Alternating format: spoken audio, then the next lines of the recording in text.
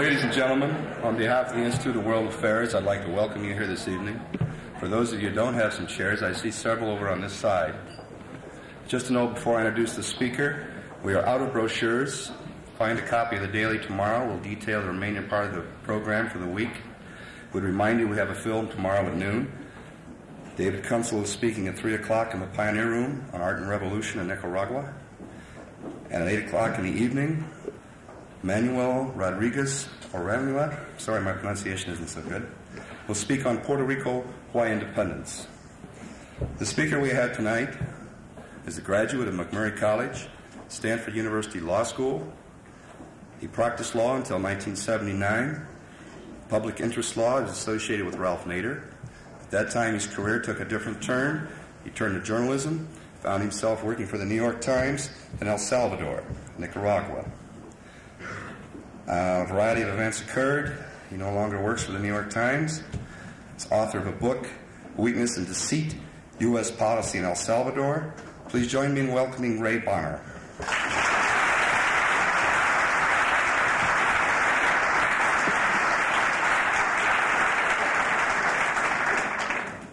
Thanks, Rainer.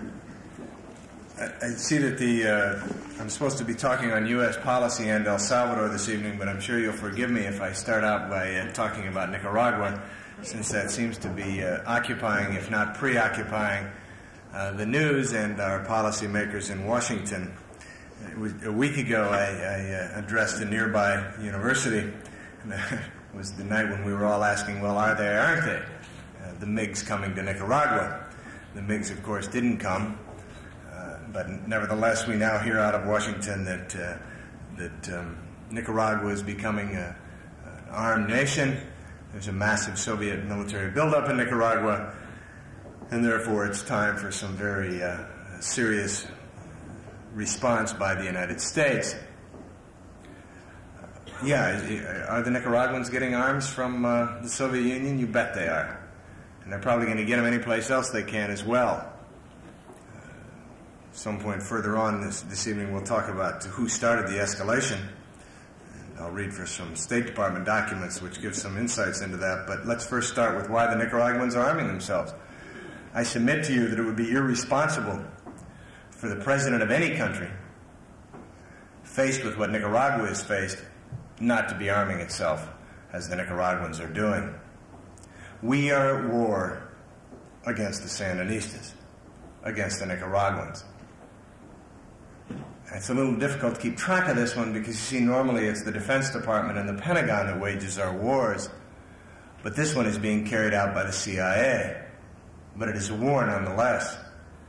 As many of you recall, it began in December of 1981, perhaps earlier, but uh, at the moment, based on the documents we've been able to obtain, it began in December of 1981 when President Reagan signed what is called NSDD 17, that's National Security Decision Directive was number 17, authorized the CIA to spend uh, $21 million, $19 million in that range to establish a 500 man paramilitary force for the purpose of uh, interdicting, interdicting the so called supposed flow of arms from the Nicaraguans to the Salvadoran guerrillas. The, that has expanded that, that initial effort. We know, we've been able to count that the CIA has spent at least $150 million we know they've spent that much. The 500 man paramilitary force is growing. It's at least um, 15,000, according to most reliable intelligence estimates, in uh, fighting Contras, freedom fighters, as the administration chooses to call them, but fighting against the Nicaraguan government from bases in Honduras. Now, you may think, well, $150 million, 15,000 soldiers. That's not really very many, 15,000 guerrillas. But I think you have to put this in some kind of perspective and understand what this means uh, to the people of Nicaragua. It is the equivalent of 1.2 million Soviet trained, Soviet paid, and Soviet armed guerrillas attacking the United States from Canada and attacking from bases built by the Soviet Union in Canada and attacking with helicopters supplied to those guerrillas by the Soviet Union and small planes supplied by the Soviet Union.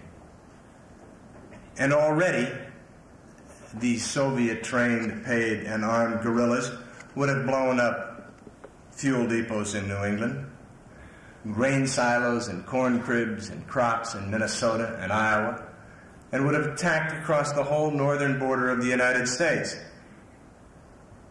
killing several thousand, in fact, probably the equivalent of 100,000 or 200,000 Americans in the last two and a half years.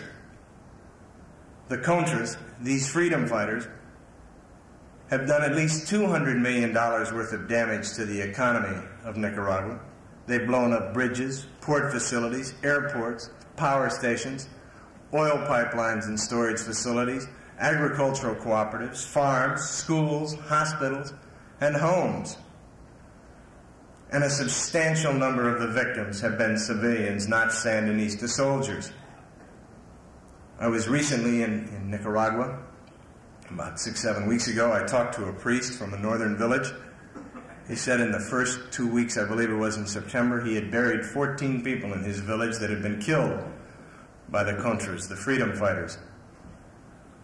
Women, children, school teachers, not soldiers. Also, while I was in Nicaragua, a healthcare worker came down from one of the northern villages near, near the border, and she came in for a meeting of healthcare workers in, in Managua. And she had a crude map that she had drawn, and on it she had circled in red eight healthcare facilities, rural healthcare facilities that had been blown up by the Contras. And in blue, she had circled six other healthcare facilities that the government had closed because the Sandinistas could not provide uh, the protection. As one doctor put it to me, the Contras are trying to destroy the very gains of the revolution. It's in light of that, it's faced with that war, that the Sandinistas have sought defensive weapons. And they have been called defensive weapons by many in the United States military establishment. And we are now going to see the debate. Well, first, first, let me digress for a moment to show you how this is going to play out and how it's played out over the last three years. There was an interesting front page story in the New York Times Sunday, which began as follows, and it's easy to commit it to memory. It begins the Reagan administration, comma, concerned about what it says is an increase in the flow of arms to the Soviet Union from the Soviet Union to Nicaragua, comma, is considering stepped up military activity, etc. Do you realize you have read that same sentence in news stories for the last three years with one change, very significant change? For the last three years, it has been the Reagan administration, comma, concerned about what it says is an increase in the flow of arms from the Nicaraguans to the Salvadoran rebels, comma, is considering da da da da da. That was the basis of our policy for three years. It was the supposed flow of arms from the Sal- Nicaraguans to the Salvadoran guerrillas. Oh, As you all know, there was very little evidence supplied of that flow of arms. I mean, I'm not going to stand up here and tell you the Nicaraguan government wasn't supplying some or, or, weapons weren't coming through Nicaragua to the Salvadoran guerrillas, but never, never, never on the scale that the administration contended. And probably not since 1981 according to David McMichael, a former CIA employee. Nevertheless, that was the basis of the policy. That was the basis of the war. That was the basis of the Contras. That was the justification that, uh, for everything we were doing to destroy Nicaragua. And never floated, as you, read, as you know. Never got very far. The first white paper was, was pretty well seriously demolished by Jonathan Kwitny of the Wall Street Journal. Bob Kaiser at the Washington Post. Then they tried a second white paper, which was supposed to sh- so show the, the, flow of arms from Nicaragua to the Salvadoran guerrillas. That one was set, such a repeat of the first one that Tom Enders, who was the head of the Latin American Bureau at the State Department at the time, didn't even want to issue it. And the third white paper making the same, same charges about these flow of arms from Nicaragua to the Salvadoran guerrillas came out in July. That one in 37 pages had 27 references to the New York Times and the Washington Post. Mean, those are the major sources of intelligence for the State Department. You know, we have intelligence agents who say we, you know, we, we have satellites literally that can read the license plate of a moving car going 60 miles an hour. You can, you can go to Fort Meade, and at the NSA listening station, you can put on, on these ear things and listen to tank commanders in Iran. As one intelligence agent, agent said, we can hear a toilet flush in Managua. But where's the beef? You know, where's the evidence of all these arms? You know, where's the smoking gun? You may not have found a smoking gun in Watergate, but this is a revolution. This is what this is all about guns. And the, the evidence was paltry. So now it's shifted. Now the justification for the policy is going to be this massive Soviet arms buildup in Nicaragua. Which came first? The, the bear or the eagle? Who's responsible for the buildup? The debate rages about Cuba, of course. Did, did, Castro become, was he a communist, or was he forced into the communism in the Soviet camp by the actions of the United States? I, I don't think that's one that's ever going to be resolved. There's true believers on both sides. But I hope that when the debate starts on Nicaragua, that at a minimum, somebody will read the State Department's own documents. A document that they have done their best not to distribute. This was a report prepared for the State Department, commissioned by the State Department.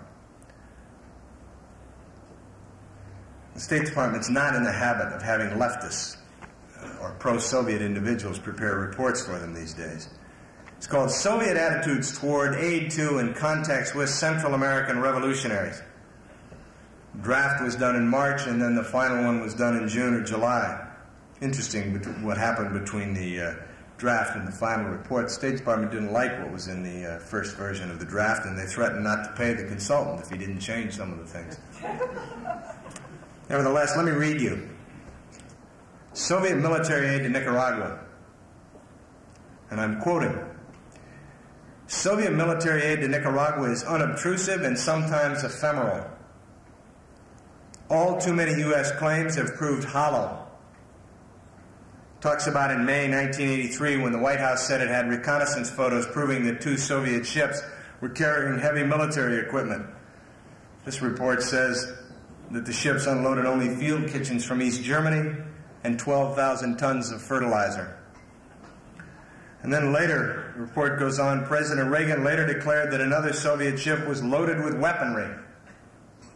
Yet a respected conservative, Cap C, conservative British observer saw, quote, no sign of offensive weaponry or armored vehicles. You remember the plane that was captured in, in Brazil, supposedly coming, or was coming from Bolivia with arms for Central America? Splashed all over the evening news and the front pages of the paper. The equipment on that plane was, quote, defensive and obsolete.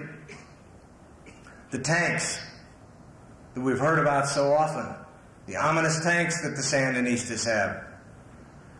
Quote, limited in quantity and outdated. And here's the sentence I want you most to remember when the debate starts about who started the escalation in Nicaragua.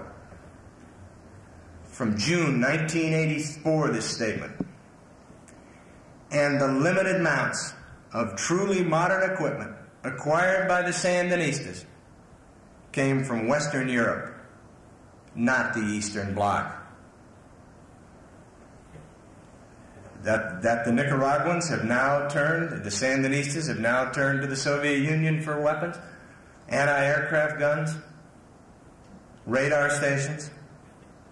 And what else they got in this last ship? Well, helicopters. I'm not surprised. They still have the smallest air force in Central America, smaller than the Air Force of Honduras, smaller than the Air Force of El Salvador, and smaller than the Air Force of Guatemala. And it is still essentially a defensive army. And it is facing a war against the greatest military power in the world. Now, why are we at war with Nicaragua? I submit to you it has nothing to do with national security. Let's make it clear. We absolutely prevent the installation of any Soviet military bases, offensive weapons in Central America. Period. But that's not what this policy is all about. If it is, it's a proverbial sledgehammer when they ought to be using a scalpel. Soviet Union isn't putting, nobody's suggesting seriously that the Soviet Union is putting uh, bases in Nicaragua.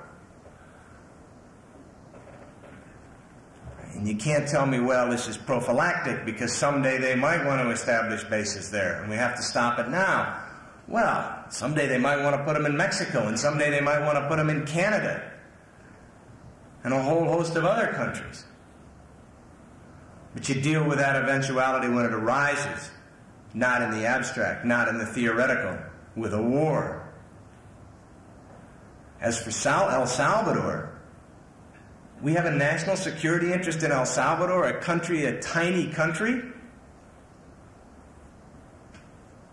In President Ford's, President Ford's ambassador to El Salvador, a Republican businessman from, from California, said, We have no national interest in El Salvador. And the State Department, under President Ford, said, We have no security interest in El Salvador. Now, normally, by the way, ambassadors and State Department types are prone to escalate the importance of the countries and the areas that they serve, not to diminish uh, their importance for the national security of the United States. Sea lanes, the argument you hear, we have to protect our sea lanes.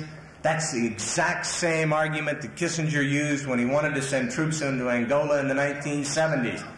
Angola has been a Marxist state for 10 years and our sea lanes haven't been threatened.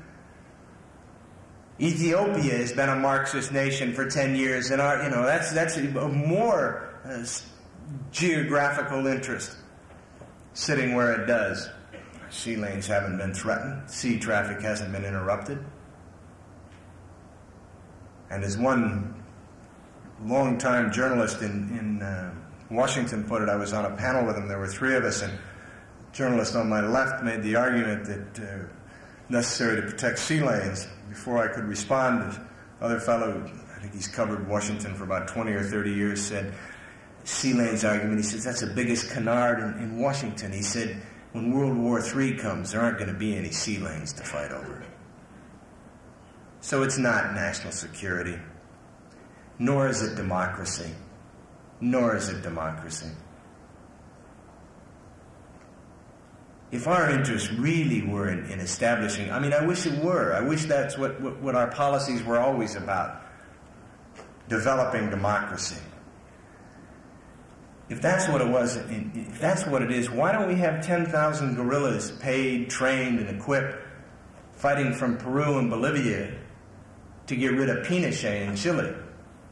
And we're responsible for Pinochet's existence. And if it's about democracy, why isn't our naval fleet in the Caribbean patrolling and circling Haiti, where Baby Doc is a dictator?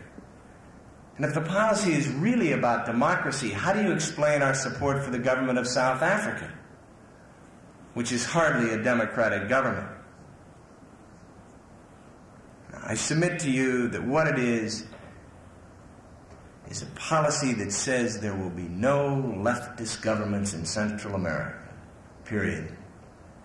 Not by bullets and not by the ballot. and it may be true of any administration, no administration would permit a left wing government in Central America, and certainly not this one. And if that seems like a statement that's a, a, bit brazen and bold, let's look at history. Let's look at the evidence. And I'm not talking about ancient history, I mean very recent history. 1954 in Guatemala and 1973 in Chile. In Guatemala, a man named Arbenz was elected president. He brought communists into the government. Arbenz was elected in free and fair and democratic elections. And Eisenhower unleashed the CIA and overthrew him. And parenthetically, look what we've had in Bolivia for the last 30 years. 1973 Chile. In 70, Salvador Allende was elected president, a Marxist.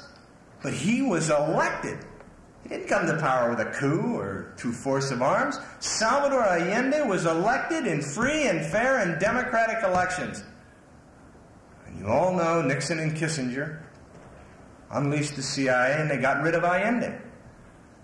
Now tell me how you can conclude from those two events, in addition to others around the world, in Africa and, and the Dominican Republic and Brazil, but just looking only at, at, at Guatemala and Chile in the last 30 years.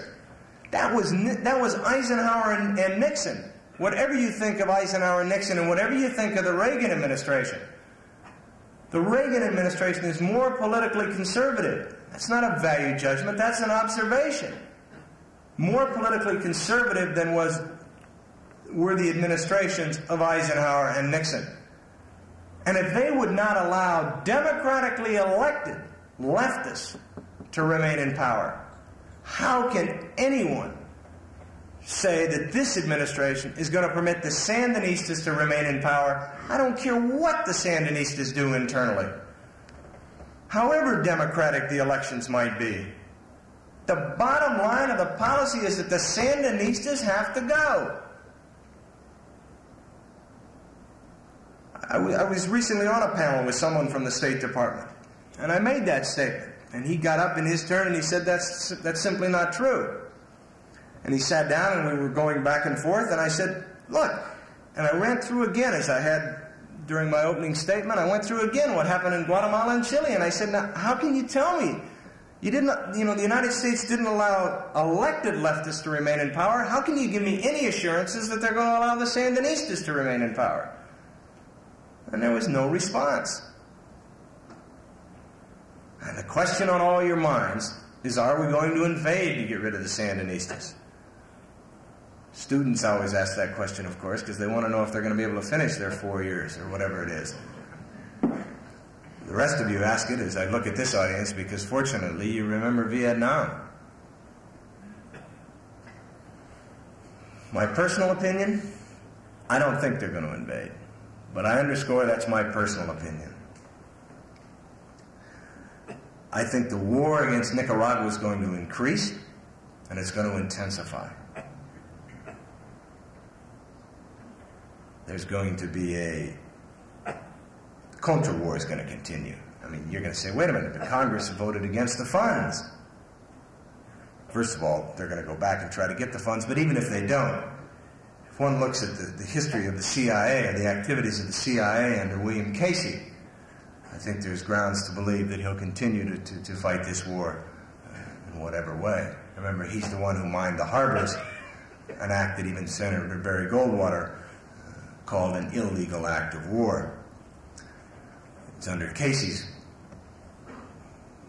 Well, he's been the head of the CIA, that the CIA manual assassination manual, which I'm sure I don't have to explain to this audience, uh, was prepared. Whether he knew about it or it just happened with people under his control, I think is, is somewhat irrelevant. We could talk for a long time about Casey's activities at the CIA, but, but he's certainly going to continue this war, one way or another. And the economic war against Nicaragua is going to increase. And it's going to be stepped up and they're going to tighten those screws on those people more and more and more. And that people are hurting. Remember when Nixon went after Chile, he gave the order to the CIA when he went after Allende, make it scream. That was Nixon's order to the CIA. And that's exactly what the Reagan administration, what the United States is doing to the economy of, of Nicaragua.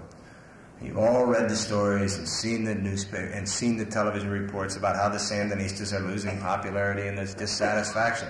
You bet there is. And that's the exact purpose of the administration's policy is to fuel that dissatisfaction. Some of the dissatisfaction, make no mistake about it, is the Sandinistas' own doing. But a great deal of it is the design of the Reagan administration and the very purpose of the military and the economic war. There is no toothpaste, there is no toilet paper, there is no soap. And in large part, that's exactly what the economic war of that country is designed to do make it scream. Make the people have to stand in line, and it's only so long that a government can pass the blame to the big uncle to the north.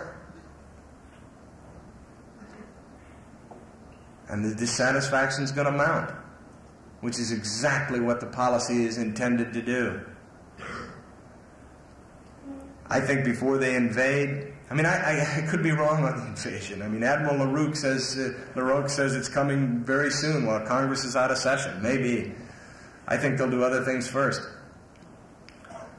I think they'll cut off the landing rights for Aeronica. This is a Nicaraguan airline.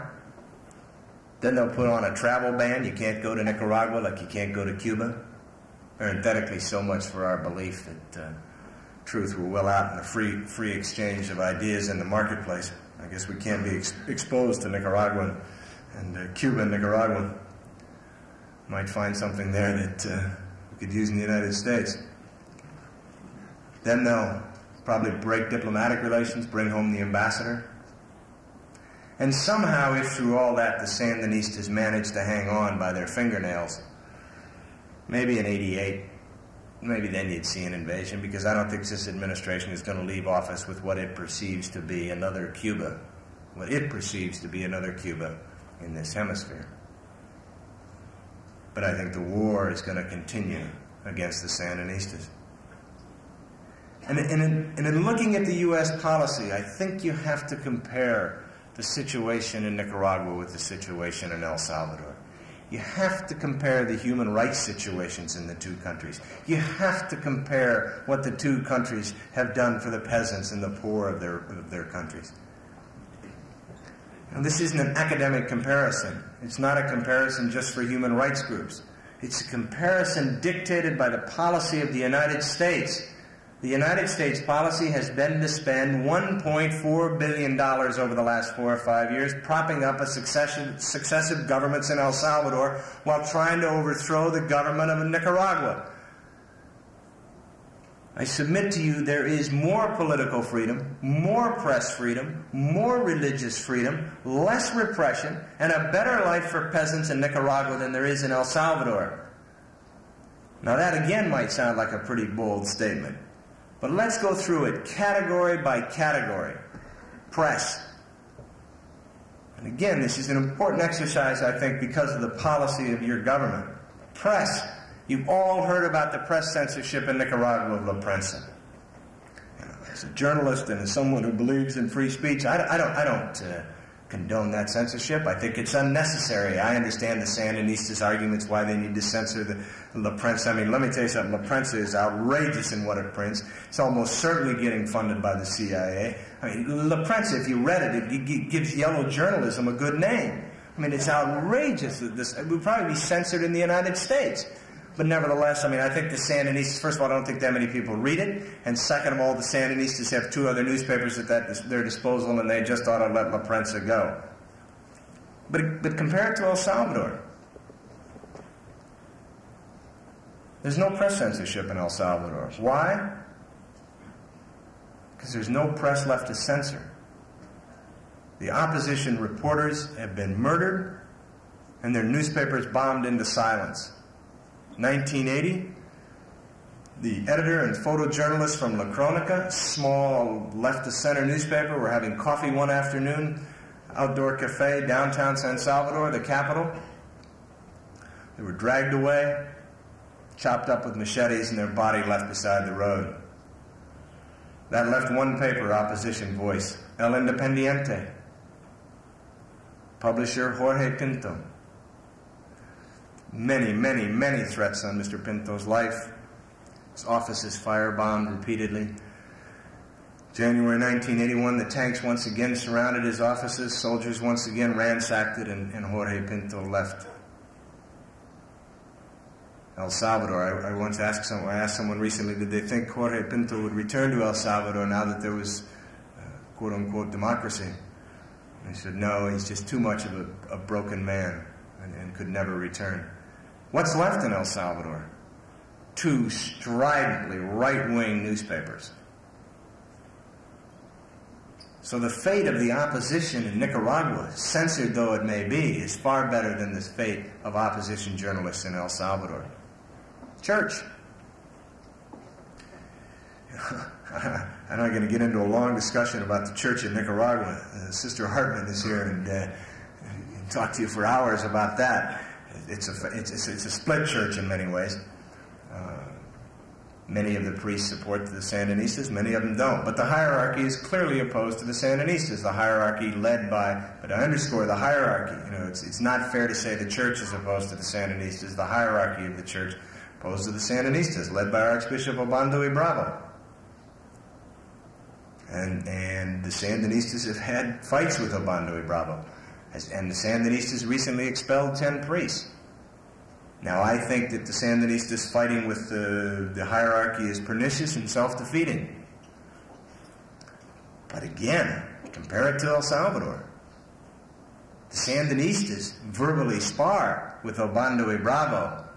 The Salvadoran government murdered Archbishop Oscar Arnulfo Romero while he was saying Mass. The Sandinistas expelled 10 priests. Salvadoran soldiers raped and murdered four American churchwomen, and Salvadoran soldiers have killed more than 10 priests. Political freedom. Oh, you've heard so much about Arturo Cruz in Nicaragua, the leading anti Sandinista opposition leader. Leading, uh, that is, he's the leading opposition leader for the Reagan administration and for many American liberals. There were restrictions on what Arturo Cruz could do. He returned to Nicaragua and he held these rallies and he was chased by these turbas, which are these ugly, ugly gangs of Sandinista youth that wield clubs and sticks and throw stones, bricks, rocks. I think they're ugly and I think the Sandinistas ought to abandon the, the, the, these turbas immediately. Compare it to El Salvador. Who's Arturo Cruz's counterpart in El Salvador? would be Guillermo Ungo, president of the FDR, which, as you know, is the political arm of the revolution. Ungo couldn't return to El Salvador prior to the elections of 1982 and 1984 to hold any kind of a rally. And U.S. diplomats in El Salvador knew it because when we would point that out, how can you call these democratic elections? We'd say when the left can't participate, they'd say, oh no, the left can participate. They should do so with videotapes from outside the country. Was always written that the left boycotted the elections in El Salvador. Nonsense, they boycotted them. They could not participate. They were not permitted to participate. In, in doing my book, I got access to scores and scores and scores of, of classified documents. And in two of them from the embassy in El Salvador, and I must say that the reporting from the embassy in El Salvador for the last five years has been pretty doggone good, and the distortions have come in Washington, not, not, from, not from the field officers. Two of those cables reported one said Salvadoran military officers, the senior commanders, said that the FDR could not participate in the elections. And in another dinner at the ambassador's house, the business leaders said the FDR, Ungo Zamora, and the rest of them could not participate in the elections And they would have been killed anyhow. Remember November 1980, four days, five days before the nuns were killed. Six, actually five leaders of the FDR were meeting in a Catholic high school downtown San Salvador. 200 soldiers dressed in plain clothes, of course, surrounded the high school. Small unit went inside, grabbed the five leaders, and grabbed the sixth man, who was a common laborer, seeking some religious uh, consultations from the archdiocese, which was on the premises, but mistaken for a leader. The six were taken away, tortured, cut up with machetes, and left beside the lake. And in October 1982, the date's important because that's six months after democracy returned to El Salvador. Four leaders of the MNR, which is a small, small, insignificant Social Democratic Party operates so far underground that you don't even see it in El Salvador. Four very low level leaders were killed by one of the death squads. Where's there more political freedom? Nicaragua, where Cruz is chased and he could have participated in the elections. or in El Salvador, where opposition political leaders have been killed. Take the fate of the peasants, the Mosquito Indians. You've all heard about the Sandinistas and their mistreatment of the Mosquito Indians. Have the Sandinistas mistreated the Mosquito Indians? Yes. Yes. But it has not been on the scale and charged by the Reagan administration. They haven't slaughtered an entire culture. They have, there hasn't been genocide. If you want to know where there's been genocide and slaughter of a beautiful Indian culture, it's in Guatemala. There, Indian women, pregnant Indian women, have had their bellies slit open. Men have had their heads cut off, Indian men, and put on fence posts as a reminder to others, as a warning not to join the guerrillas, not to be sympathetic. Guatemalan Indians, many of them no longer wear the colorful traje, the traditional clothes, because the army all too often has considered any Indian to be sympathetic to the revolution there. You know, we don't hear any outcries out of Washington about that. Genocide, not a word I would use lightly, not a word I would use. But the editor of a, of a right of center newspaper in Guatemala said about a year and a half ago in an editorial two years ago that it was genocide that the army was carrying out against the Indian population in Guatemala. The mosquitoes have fared far better in Nicaragua. And the mosquitoes have been moved by the Sandinistas not into concentration camps. They've been relocated, resettled. I don't, I don't condone that resettlement. But what, what has the Salvadoran army done to peasants who have been living in the zones where the guerrillas have been active in El Salvador? They haven't relocated them. They've just bombed their villages while the people have lived there. According to the latest report by Americas Watch, indiscriminate bombing, uh, that's their word, indiscriminate bombing, is a deliberate part of the government policy in El Salvador, the current government policy in El Salvador. According to the State Department's report, the State Department's own report for 1983, every year the State Department puts out a report, Country Human Rights Practices, or Human Rights Practices in Countries Around the World. For 1983, the State Department reported the Sandinistas were responsible for the deaths of 12 civilians. In El Salvador, the number 140 per month. That means the Salvadoran government was killing 140 times as many people as the Nicaraguan government. President Reagan, as you know, has called Nicaragua a totalitarian dungeon. And recently, the U.S. ambassador, and I have to read you this, the U.S. ambassador to uh, Costa Rica, these are his words. He told a group of Republicans in Charleston, West Virginia, quote, Nicaragua has become just like an infected piece of meat, attracting these insects, insects from all over. He said that Nicaragua should be viewed by Americans not from the perspective of Vietnam, but from the perspective of Nazi Germany. Well, I ask you if, if, if Nicaragua is a totalitarian dungeon, and if Nicaragua is an infected piece of meat, and we should view Nicaragua as Nazi Germany, what does that make El Salvador? And what does it say about the policy? Now, some weeks ago, a couple of weeks ago, I was in a debate and I ran through this comparison. And my opponent got back up afterwards and he said, the only problem, no, he didn't say it was the only problem. He said the problem with uh, Mr. Bonner's uh, statement and analysis is that he's talking about the history in El Salvador. And that's all in the past. All the killings of the priests and all the killings of the peasants and the killings of the political leaders and the press censorship. That's history. That, that's, that's not El Salvador today. Well, I don't think talking about what's happened in the last three years is history that we should ignore. As the great philosopher Santayana said, he who ignores history is doomed to repeat it. But nevertheless, if, if he insists, and those others insist, let's look at contemporary El Salvador. Let's look at El Salvador under Duarte. elected Duarte, and I didn't say democratically elected Duarte. We can talk about the elections if you'd like. Were they democratic? Would there be democratic elections in the United States if the liberal wing of the, of the Democratic Party couldn't participate or the left wing of the Democratic Party couldn't participate? Or the Social Democrats, however small they are, couldn't participate? Would we call the elections democratic? And yet that's the situation in El Salvador. Nobody to the left of the Christian Democrats could participate in those elections.